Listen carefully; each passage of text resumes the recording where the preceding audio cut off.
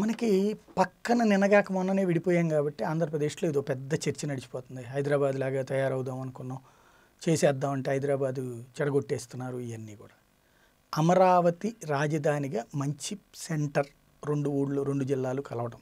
But ఏకైక problem వల్ల ఆ లోపల నిర్మాణాలు సాధ్యమా అనేటువంటిది ఒకటికి మూడింతలు అయ్యేటువంటి నిర్మాణ వ్యయం రెండవది రోడ్డుకి అతి లోపలగా ఉండేటువంటి ప్రదేశం కావటం అక్కడ మౌలిక సదుపాయాలు సమగ్రంగా తయారు చేసుకోవాల్సి రావటం.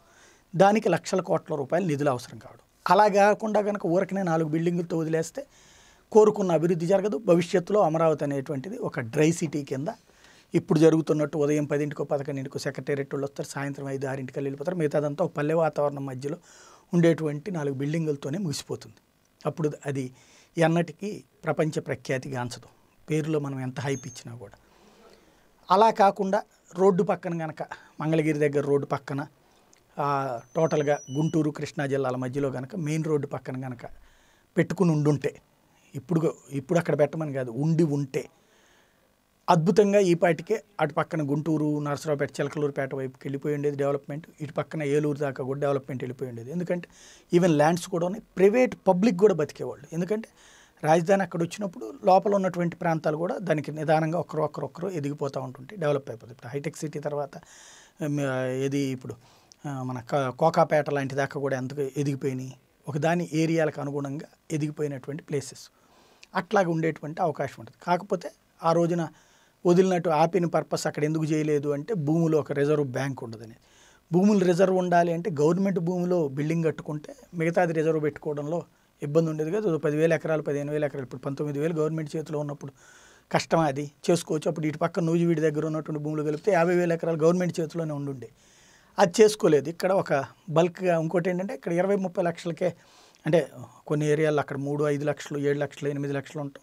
హయ్యెస్ట్ ఇరవై పాతిక లక్షల రూపాయలు ఉంటాం. పాతిక లక్షలు ఉన్నటువంటి చోట అయితే కొనుక్కోవడానికి అవకాశం ఉంటుంది కాబట్టి అప్పుడు కోటి రూపాయలకి పోతే బెనిఫిట్ అవుతుంది అన్న కోణంతో పోవడం వల్ల ఎక్కడైతే రోడ్డు పక్కన ఉన్నటువంటి ఇదే మంగళగిరి రూట్లో అయితే కనుక అప్పటికే ఐదు కోట్ల రూపాయలు ఏడు కోట్ల రూపాయల దాకా పలుకుతుంది కొన్ని కొన్ని పది కోట్ల రూపాయల దాకా కూడా పలుకుతుంది కాబట్టి అది కొనుక్కోవడానికి అవకాశం ఉండదు. లీడర్లు కానీ క్యాడర్ కానీ అన్నటువంటి కోణంలోనే ఈ లోపలికి తీసుకెళ్ళడం జరిగిపోయింది. దాన్ని కంట్రోల్ చేయడానికి ఇప్పుడు ప్రస్తుతం అయితే ఓ పక్కన యుద్ధం జరుగుతుంది. మాటల యుద్ధం చేతల యుద్ధం వ్యవహారం అంతా కూడా నడుస్తుంది. ఇక్కడ ప్రాక్టికల్ సమస్య హైదరాబాద్ తరహాలో ఉండాలా? ముంబై తరహాలో ఉండాలి? వాస్తవానికి ఆంధ్రప్రదేశ్కి ముంబై తరహా వాతావరణం ఉంది. హైదరాబాద్ తరహా కాదు. అది వైజాగ్ పరంగా చూసుకుంటే కనుక ముంబై తరహా వాతావరణం ఏంటంటే పోర్టులు ఉన్నాయి మనకి. సముద్ర తీర ప్రాంతం పోర్టులు ఉన్నాయి శ్రీకాకుళం దగ్గర కూడా పోర్టు పెట్టుకోవచ్చు. కాకినాడ పోర్ట్ ఉంది వయబుల్లా కాదా అంటే డెవలప్మెంట్ ఇండస్ట్రీసు ఇంపోర్ట్స్. అనేక ఇంపోర్ట్స్ చేసుకోవచ్చు. ఇంపోర్ట్ బేస్డ్ ఇండస్ట్రీస్ బోలెడ్ వస్తుంటాయి. ఎక్స్పోర్ట్ బేస్డ్ ఇండస్ట్రీస్ బోలెడ్ వస్తుంటాయి. మన పక్కన ఉన్నటువంటి తెలంగాణకి పోర్టులు లేవు.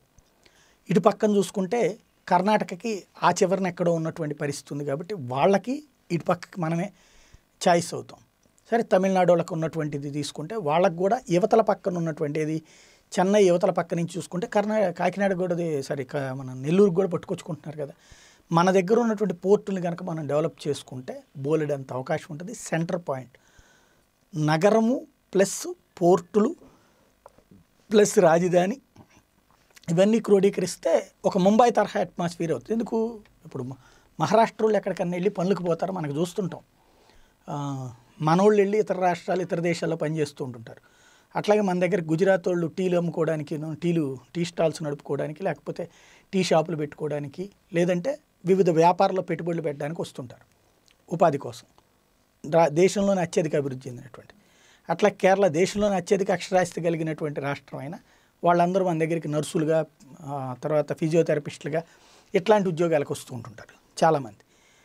అలా ఇలాగా ఈ ప్రాంతాలన్నీ కూడా ఇక్కడికి వస్తున్నారు. కానీ తమిళనాడు వాళ్ళు బోరు ఎక్కడ మనకు కనబడరు. తమిళనాడు వాళ్ళు వచ్చి మన దగ్గరికి పనులకి అట్లాగే మహారాష్ట్రలో కనబడరు మనకి.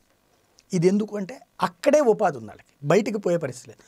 అభివృద్ధి అంటే ఉపాధి అవకాశాల కోసం వేరే దేశాలకి వేరే రాష్ట్రాలకి పోయే కర్మ లేకుండా ఉండటం. అది రైలు అభివృద్ధి అనేటువంటిది. ఆ కాన్సెప్ట్లో ముంబై తరహా వాతావరణం కావాలా?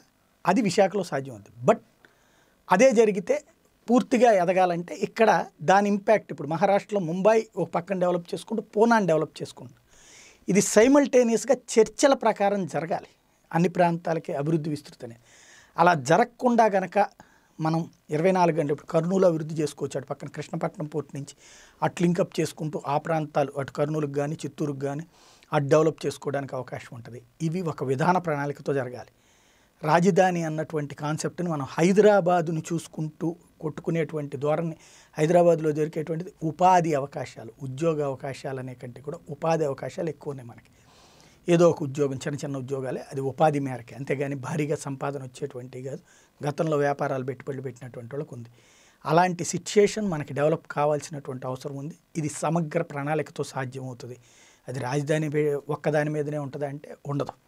రాజధాని ప్లస్ లింకప్ జరిగేటువంటి పరిణామాలు వీటన్నిటిని కూడా ప్రాక్టికల్గా చేయాలి.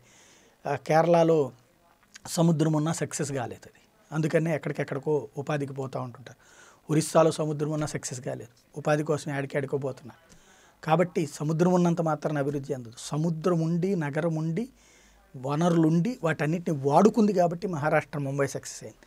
సముద్రం లేకపోయినా హైదరాబాద్ సక్సెస్ అయింది. వాతావరణం రీత్యా తర్వాత పెద్ద ఎత్తున ఉన్నటువంటి అతి తక్కువ ధరలో భూమి రీత్యా ఈ పరిగణలోకి తీసుకోవాల్సి ఉంటుంది. వేగ్గా వెళ్ళేటువంటి పరిస్థితి కాదు.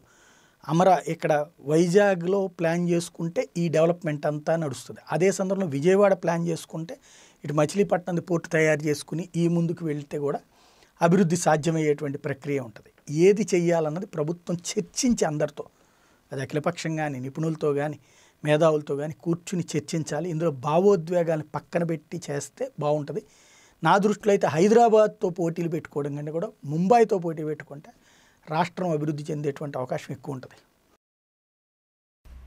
ఇక నుంచి జర్నలిస్ట్ సాయి వీడియోలు వన్ లైన్ యాప్లో కూడా అందుబాటులో ఉంటాయి. డిస్క్రిప్షన్లో ఉన్న లింక్ ద్వారా వన్ లైన్ యాప్ డౌన్లోడ్ చేసుకుని కేటగిరీలో ఉన్న జర్నలిస్ట్ సాయి ఆప్షన్ సెలెక్ట్ చేసుకోండి. One line it's for everyone.